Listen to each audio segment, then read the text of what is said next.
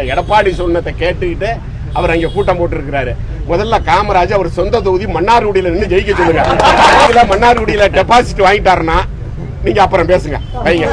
இப்போ அமமுக அதிமுக ரெண்டும் இணைந்து செயல்படும்னு அந்த ஓபிஎஸ் அவர்களும் உயர் திரு டிடிவி அவர்களும் சொல்லியிருக்கிறாங்க.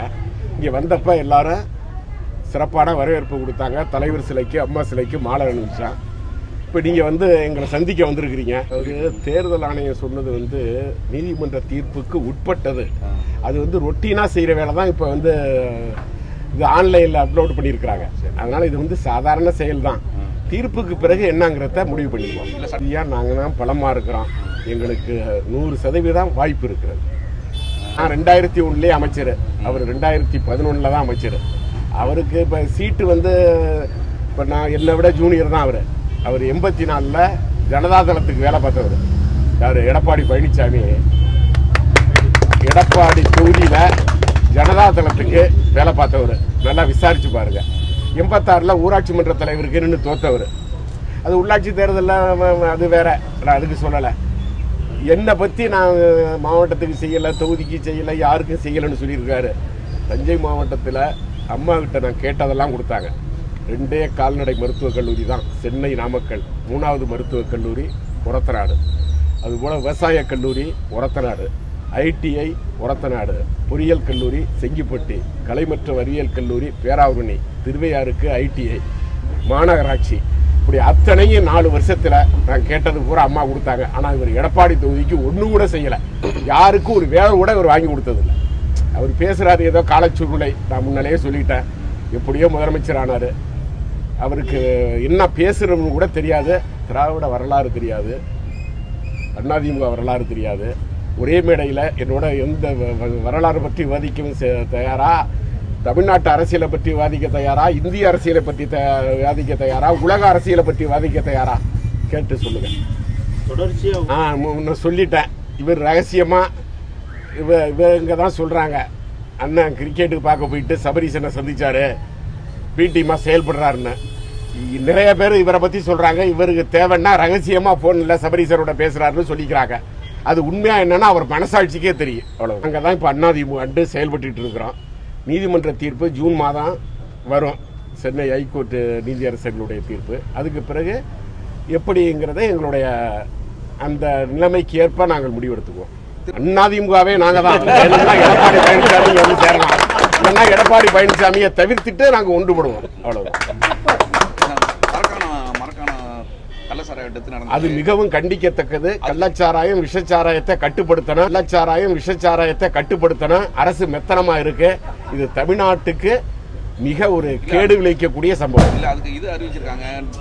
அதாவது இள வயதில் இப்படி இது பண்ணத்தில் நிவாரணம் அறிவிக்கிறதுல வந்து யாரும் தவறு சொல்லக்கூடாது. இது அறிவிக்க வேண்டியது இது ஏற்றுக்க வேண்டியதான் அதை பற்றி நிவாரணம் எப்படி கொடுக்காம இருக்க முடியும்? ரெண்டு பிள்ளைங்க இருக்கா அனாதையா விட்டுட்டு போக முடியுமா? அந்த குழந்தைகளை காப்பாற்றணும்னா நிவாரணம் அறிவிச்சத்தில் அது வந்து அரசியலுக்காக வேண்டி பேசக்கூடாது. அதை வரவேற்கிறோம் நாங்கள் ஜெய்குமாரை பற்றி சபாநாயகராக இப்பொழுது இருக்கிற உயர்திரு மாண்புமிகு அப்பாவு அவர்கள் விஜிலன்ஸில் பெட்டிஷன் கொடுத்தாரு. ராதாபுரம் தொகுதியில் கடற்கரை கிராமத்தில் அறுபத்தி ரெண்டு கோடி ரூபா ஐம்பது கோடி ரூபாய்க்கும் கீழே வந்தால் தான் தமிழ்நாடு அரசு அந்த வேலையை செய்யலாம் மீன்வளத்துறை. மத்திய அரசு தான் செய்யணும். அதை பிரித்து போட்டு இருபத்தெட்டு கோடி ரூபா அதில் சம்பாதிச்சாருன்னு ஒரு பெட்டிஷன் கொடுத்தாரு. அவரே ரிக்கா இதில் இதில் பேசியிருக்கிறாரு. அடுத்தது வாக்கி டாக்கியில் ஊழல்னு எஃப்ஐஆர் போட்டிருக்கிறாங்க பன்னெண்டு கோடி ரூபா ஊழலை பற்றி பேசுவதற்கு ஜெயக்குமாருக்கு எந்த தகுதியும் இல்லை.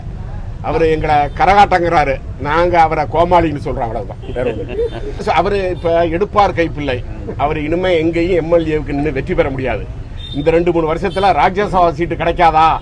அப்படிங்கிறதுக்காண்டி எடுப்பார் கைப்பிள்ளையாக யார் எது சொன்னாலும் அதை சொல்லிக்கிட்டு இருக்கிறாரு உய கிளிப்புல பிள்ளை. அவர் எதிர்கால அரசியல் அவருக்கு கிடையாது. ஒன்லி ராஜ்யசபா எம்பி ஆகணும். அதுக்காக வேண்டி யாரை வேணாலும் எது வேணாலும் பேசுவார். அவ்வளவுதான். அவர் அதாவது யாராச்சும் ஒருத்தர் போகிறதுனால யாரும் போக மாட்டாங்க. இப்போ அண்ணா இப்போ எடப்பாடி டீம்ல இருந்து வந்து சேர்றாங்க. அதனால எல்லாரும் வந்துட்டாங்கன்னு சொல்ல முடியாது. எங்கள்கிட்ட இருந்து அவங்க காசு கொடுத்து அழைப்பாங்க. அதனால எல்லாரும் போயிட்டாங்கன்னு போக முடியாது.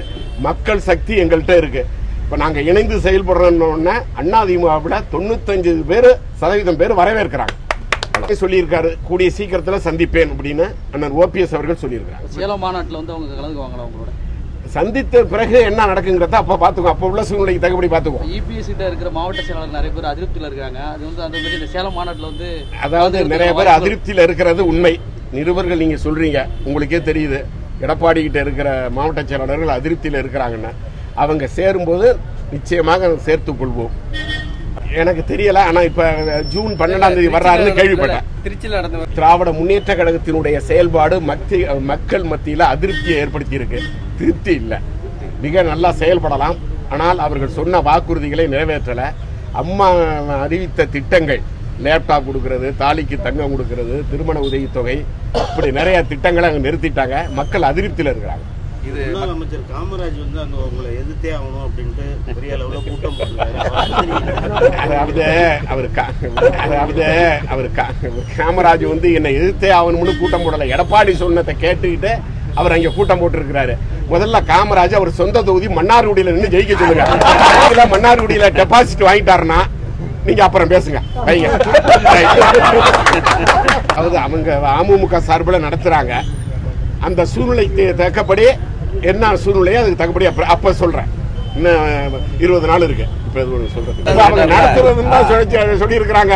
அவங்க எனக்கு அழைப்பு கொடுப்பாங்களா? கொடுக்க மாட்டாங்களா? எங்க கட்சி தலைமை என்ன சொல்லுது? அதெல்லாம் கேட்டு தானே இப்ப செய்யணும். எங்க பொதுச்செயலர் என்ன சொல்லியிருக்கிறாரு? ஓபிஎஸும் நானும் இணைந்து செயல்படுவோம். துரோகத்தை வீழ்த்துவோம். எடப்பாடியை வீட்டுக்கு அனுப்புவோம் அப்படின்னு சொல்லியிருக்காருல்ல. அப்புறம் இனிமேல் எல்லாம் அப்படிதான் நாங்க பண்ணுவோம். எடப்பாடியை வீட்டுக்கு அனுப்பணும் அதானே எங்களோட எல்லாரோட குறிக்கோள் என்ன? அண்ணாதிமுக ஒற்றுமையாகணும். ஆகணும். அவரை எடப்பாடி வந்து ஒத்து ஒத்து வந்தா ஏத்துக்குவோம் இல்லைன்னா அவரை நீக்கிடுவோம். அவ்வளவுதான். அரசியல்ல வந்து நேற்றைய நண்பன் நேற்றைய எதிரி இன்றைய நண்பன். அண்ணாதிமுக ஒன்னா இருந்த அண்ணாதிமுக ஒற்றுமையா இருக்கணும். மீண்டும் அண்ணாதிமுக த- அம்மா ஆட்சி தலைவர் ஆட்சி வரணுங்கிற எண்ணத்துல எல்லாரும் ஒன்றுபடணும்னு நினைக்கிறான் அவர் தன்னுடைய சுயலாபத்துக்காக வேண்டி கட்சி அழிஞ்சாலும் சரி தான் தலைமை ஏற்கணும்னு நினைக்கிறாரு. இவர் தலைமை ஏற்கிறதுக்கு அண்ணாதிமுகவில் நான் தான் சொன்னேன் எண்பத்தி நாலில் ஜனதாதளத்துக்கு வேலை பார்த்தவர். இவருக்கு அதிமுக வரலாறு தெரியாது. அதிமுக வரலாறு தெரிஞ்சிருந்தா இவர் எல்லாரையும் அரவணைச்சு போகணும். பதவி கொடுத்தவங்களையே என்ன பேசினாரு? அதாவது நான் பல முறை சொல்லிட்டேன் திருப்பி திருப்பி சொல்லல. நன்றி உணர்வு இல்லாத ஒரு மனிதன் தான் எடப்பாடி பழனிசாமி அவ்வளவுதான். ரைட் வந்து யாரும் பாரதிய ஜனதா கட்டுப்படுத்தல. எங்களுக்குன்னு இருக்கிற எங்க சூழ்நிலைக்கு தக்கபடி எங்களுடைய நடவடிக்கைகள் இது அவங்க தான் ரெண்டு பேருக்கும் அவங்க கூ- எங்களுடைய தோழமை கட்சி எங்களுக்கு அட்வைஸ் பண்ணலாம். அது ஏத்துக்கிறது நல்லதா இருந்தா ஏத்துக்குவோம். நல்லதா இல்லைன்னா ஏத்துக்காம இருப்போம்.